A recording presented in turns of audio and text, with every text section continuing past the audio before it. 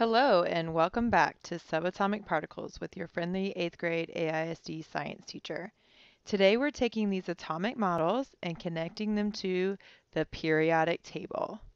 Let's do a quick recap of our previous learning. Here's our vocabulary. Proton, neutron, electron. Check it out. An atomic model encompassing these terms. Remember the proton and the neutron are in the center, and the electron are actively moving around on the outside. We also learned about the nucleus and electron cloud, where these guys are located.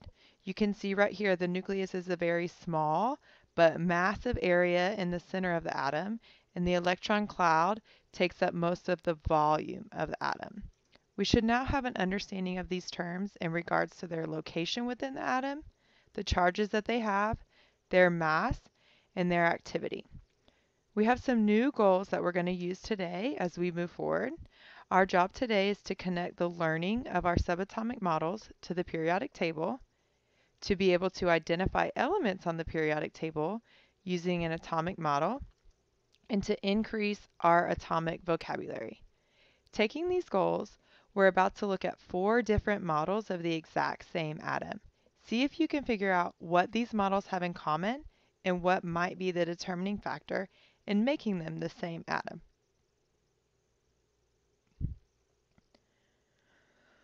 While there may be several things you noticed, check this out. All four of the atoms have the exact same amount of protons. What? That's crazy. Here are the facts. All atoms with the same number of protons are in fact the same atom. So since these models have the same number of protons, 9, they are all representative of the same atom.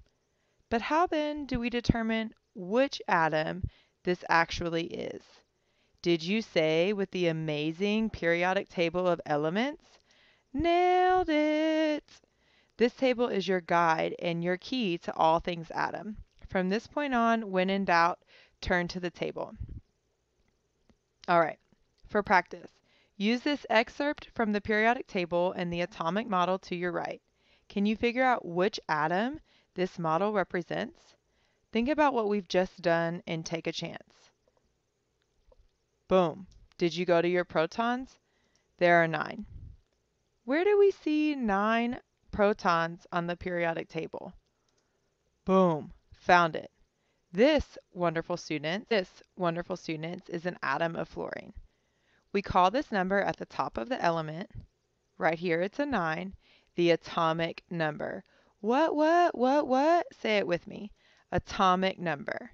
Wait, did you notice that the atomic number is always equal to the amount of protons in the nucleus? that sure makes it easier for us. Atomic number equals number of protons. Done and done. The atomic number isn't the only thing we can find inside the nucleus and on the periodic table. The next thing that we're going to see is the atomic mass. Get it? It's the mass in the atom. We get this number by adding up all of the massive, massive subatomic particles, which we remember are the protons and the neutrons.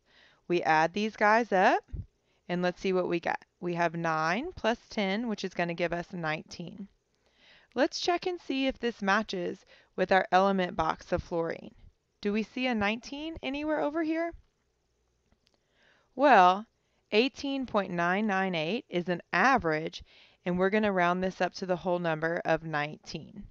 So up top, we always find our atomic number, which is the number of protons, and down low, we always find the atomic mass. Let's practice together before you venture out on your own. Before we even think about figuring out what the name of the element is, we have to figure out the atomic number. This can be done in two ways. First, we're just going to count the protons. We have one, two, three. So we already know the answer to this. It's 3. We're going to look at the periodic table and we're going to find that 3 atomic number. Boom. There it is.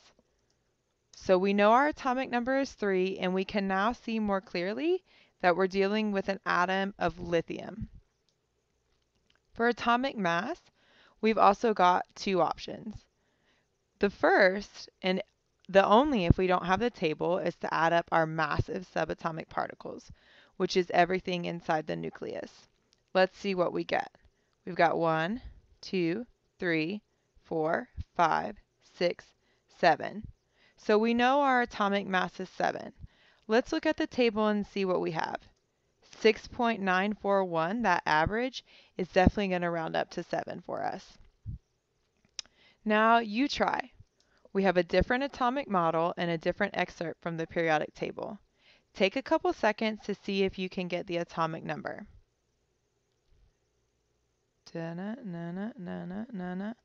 Did you get 5? That's amazing. Let's go through the process. First, check the model and count the protons.